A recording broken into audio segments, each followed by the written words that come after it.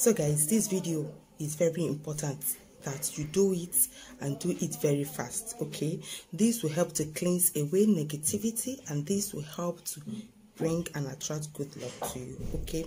Now the ingredients you need are very easy very easy to find at home.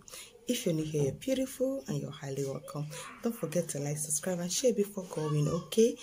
Now what you do is you get bay leaf everybody know bay leaf bay leaf when you get the bay leaf you have to boil it. Put it inside a pot boil it let's say for like 15 minutes. After boiling it you get it out. You take some you drink.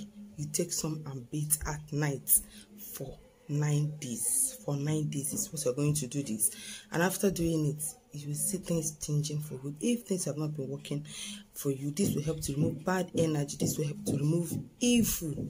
It will also purify your your yourself and also purify your spirits okay? So if you are if you haven't been trying my recipes please do try them. It works okay?